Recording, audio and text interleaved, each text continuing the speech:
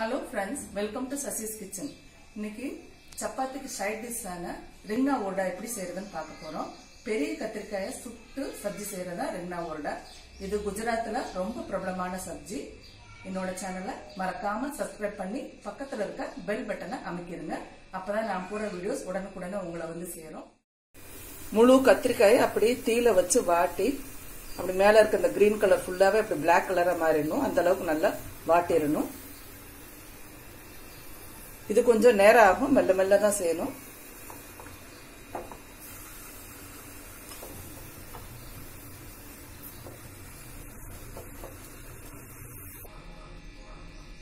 கத்திரிக்காய் நல்லா வாட்டியாச்சு. பாருங்க நல்லா அது மேல இருக்க தோலெல்லாம் அப்படியே கிரீன் எல்லாம் போய் பிளாக் கலர் ஆயிடுச்சு. கொஞ்ச நேரம் அப்படியே ஆற விடணும். ஆற விட்டுட்டு அப்படியே அந்த தோலெல்லாம் உரிச்சு எடுத்துடணும். சிறுங்கானியன் ஆறு. ஒரு இஞ்சி வந்து ஒரு சின்ன துண்டு ரெண்டு துண்டு.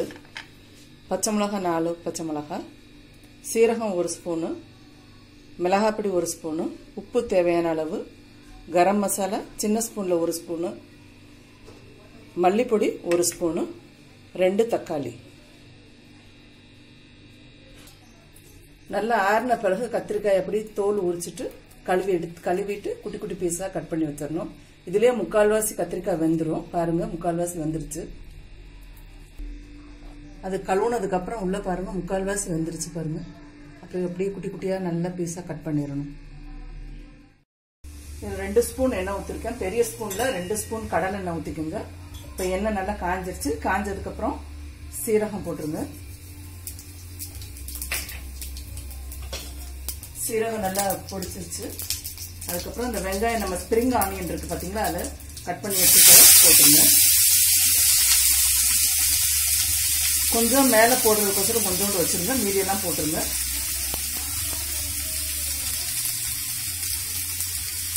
போட்டுட்டு நல்லா வதக்கிடுங்க ஓரளவுக்கு நல்லா வதங்கிருச்சு. இப்போ இஞ்சியை வந்து நல்லா துருவி வச்சுக்கோங்க. கட் பண்ண வேண்டாம் துருவி வச்சுக்கோங்க. அந்த இஞ்சியை போட்டுட்டு கொஞ்சம் லைட்டாக வதக்கிட்டு கூட கூட அந்த பச்சை மிளகா குட்டி குட்டியாக நல்லா கட் பண்ணி வச்சுக்கோங்க. இந்த பச்சை மிளகாயும் போட்டுருங்க. போட்டு அப்படியே கொஞ்சம் நல்லா வதக்கிடுங்க. இப்போ கூடவே இந்த தக்காளி போட்டுக்கணும் நம்ம. ரெண்டு தக்காளி கட் பண்ண குட்டி குட்டியாக நல்லா கட் பண்ணி வச்சுட்டு தக்காளி போட்டுருங்க.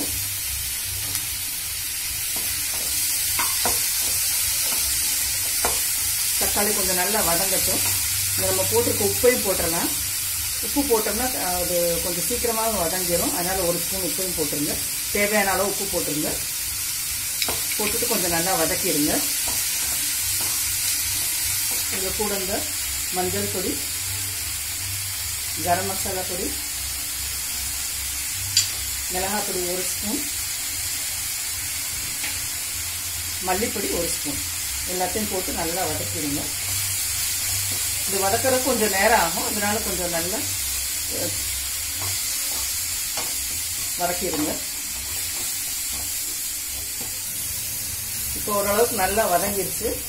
இது கூட நம்ம அந்த கத்திரிக்காயை கட் பண்ணி வச்சிருக்கோம் பார்த்தீங்களா அதையும் போட்டு நல்லா வதக்கிடுங்க. எல்லாம் நல்லா மிக்ஸ் பண்ணி விட்டுருங்க. மிக்ஸ் பண்ணிட்டு கொஞ்சம் தண்ணி ஊற்றி அதுக்கப்புறம் கொஞ்சம் நேரம் வேக விடணும். எல்லாத்தையும் சேர்ந்து நல்லா மிக்ஸ் ஆகிடும் அளவுக்கு நல்லா வதங்கிடுச்சு. இது கூட கொஞ்சம் ஒரு டம்ளர் தண்ணி ஊற்றி கேஸை சிம் பண்ணி வச்சுருங்க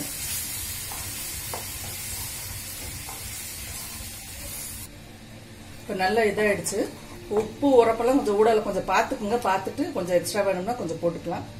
இதுக்கப்புறம் வந்து கொஞ்சம் எலுமிச்சம்பழச்சாறு. ஒரு அரை அரை ஸ்பூன் எலுமிச்சம்பழச்சாறு. அப்படி மேலே ஊற்றிடுங்க ஊற்றிட்டு அப்படியே ஆஃப் பண்ணிடுங்க. ஆஃப் பண்ணிட்டு கொத்தமல்லி தலை இந்த வெங்காயத்தாள் இது ரெண்டையும் சேர்த்து போட்டு அப்படியே மிக்ஸ் பண்ணிடுங்க. அப்படி மேலே இருக்கட்டும் அப்படியே சூடாக இருக்கட்டும். அதுக்கப்புறம் சர்வ் பண்ணுறப்ப எடுத்து மிக்ஸ் பண்ணிடுங்க. இப்போ நம்மளோட கத்திரிக்காய் சப்ஜி ரெடி ஆயிடுச்சு. இப்போ கத்திரிக்காய் சப்ஜி ரெடி ஆயிடுச்சு. சப்பாத்திக்கு தொட்டுக்கலாம் ரொம்ப சுவையாக இருக்கும். தேங்க்ஸ் ஃபார் வாட்சிங் வாழ்க வளமுடன்.